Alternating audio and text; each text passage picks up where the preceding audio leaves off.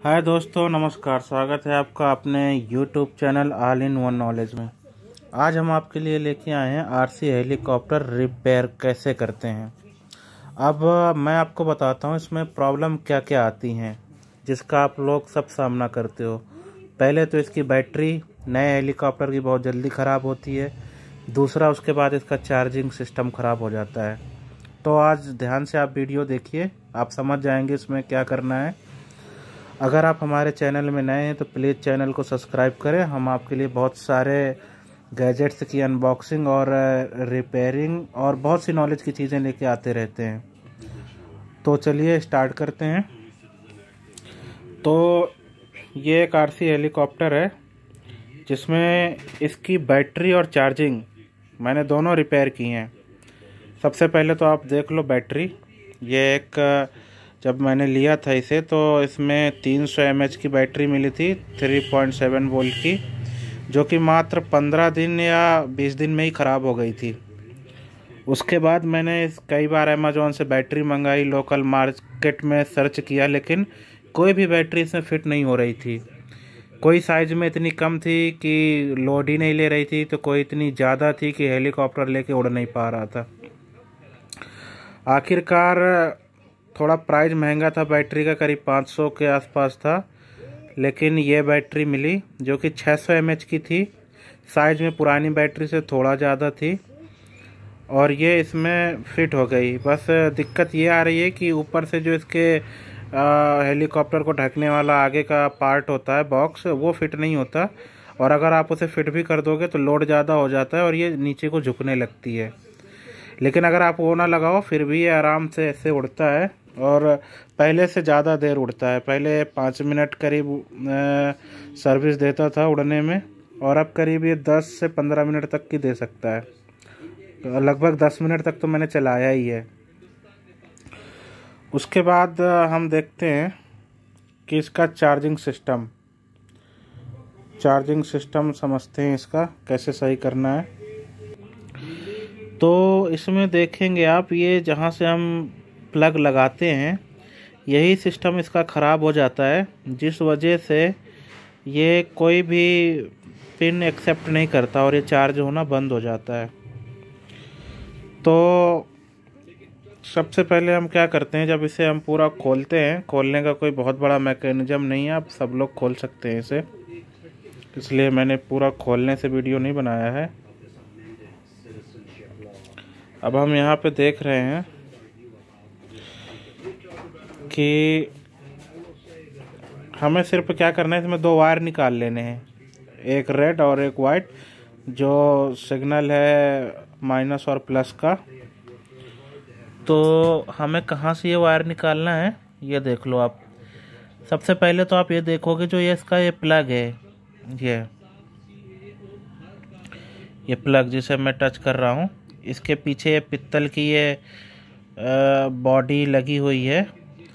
इसी में से आप इस तरफ़ से या उस तरफ़ से, दोनों में से किसी तरफ़ से तार को आयरन शोल्डर से जोड़ लीजिए, जैसा कि मैंने जोड़ रखा है। ये आपका माइनस पॉइंट है।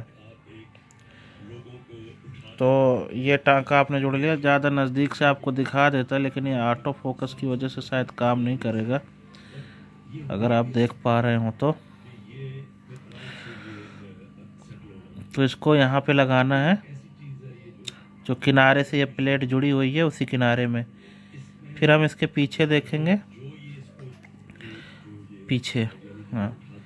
तो आप देखेंगे कि ये जो सबसे किनारे का है, सबसे किनारे में जो ये टांका है, इससे हम लाल वायर जोड़ देंगे, जो कि ये प्लस का है। जहाँ पे मेरा ये नाखून है, बिल्कुल यहीं पे। ये मैंने लाल वायर जोड़ा हुआ है। इसे इसे आप देख सकते हैं।